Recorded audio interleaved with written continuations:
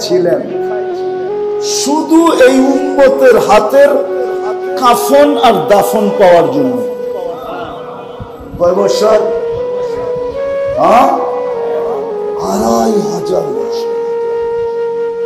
এবার ভাবেন, আপনার হাতের ছোঁয়া পাওয়ার জন্য নবী বৈশা আছে।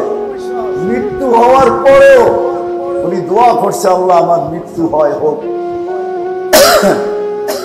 তাতে কিছু আসে যায় না, মৃত্যু তো হবে, এটাই স্বাভাবিক। কিন্তু মৃত্যুর পরে যেন আমাকে সুরক্ষিত রাখা হয়, আমার দাফন কাফন যেন না হয়, উম্মতে মোহাম্মদি যেদিন আসবে, এরা যেন আমার নিজের হাতে আমাকে কাফন পড়ায়া দাফন করে। আড়াই হাজার বছর অপেক্ষা ভাবেন আপনার মর্যাদা কতটুকু? কতটুকু আপনার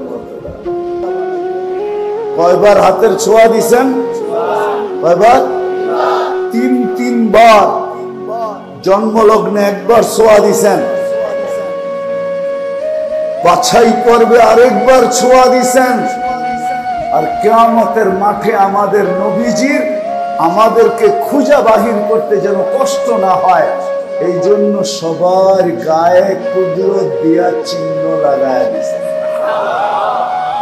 এই জন্যই তো আমাদের নবীজি জিজ্ঞাসা করছিলেন, নবীজিকে জিজ্ঞাসা করছিলেন সাহাবাই কেরাম, ইয়া রাসূলুল্লাহ, কিয়ামতের সকাল পর্যন্ত মানুষ আদম আলাইহিস ইসলাম থেকে উঠবে, আপনি আমাদেরকে খুঁজা পাবেন কি করে?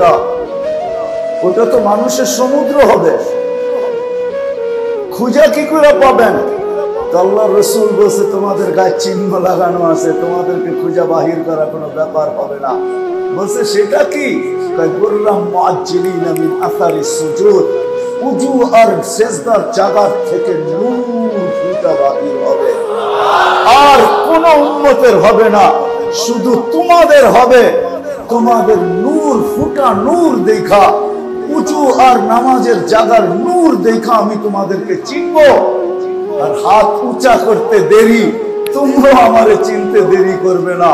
দৌড়ায় আইসা আমার কাছে মিলা যাবে। তোমাদেরকে পাওয়া কোনো ব্যাপার হবে। তিন তিনবার সদ ইচ্ছা আল্লাহ কুদরতি হাতের ছোঁয়া দিছে আমি তো তিনটা দেখাইলাম আরও দেখাইতে পারি। কিন্তু জানি না হুজুররা মানবে কি মানবে না। কুদরতি হাতের ছোঁয়া দিছেন বোঝা গেল আল্লাহ জান্নাত দিতে চান। গন্তব্য বানাইতে চান। নাইলে কেন মুসলমানের ঘরে জন্ম দিলেন? কেন সর্বশ্রেষ্ঠ নবীর উন্মত বানাইলেন? তিন তিনবার কুদরতি হাতের ছোঁয়া কেন দিলেন? হারায় যাব আমি ওইগুলা দেখাইতে গেলে এই জন্য কখনো এটার উপরে আলোচনা করি না। করতে গেলে হারায় যাব দরকার হবে আশারের পরে বসবো, রাত্র বারোটা পর্যন্ত বলব, তাইলে হয়তো কিছু একটু বলা সুযোগ হবে। যে আল্লাহ এই উন্মত হওয়ার বিনিময়ে আমাদেরকে কি দিছে? কত বড় চান কপাল আমাদের। তুলনা যদি করতে পারেন, তাইলে একটা বলি। দানিয়াল সালাম আড়াই হাজার বছর মারা যাওয়ার পরেও অপেক্ষায় ছিলেন। শুধু এই উম্মতের হাতের কাফন আর দাফন পাওয়ার জন্য। কয় হ্যাঁ? আড়াই হাজার বছর।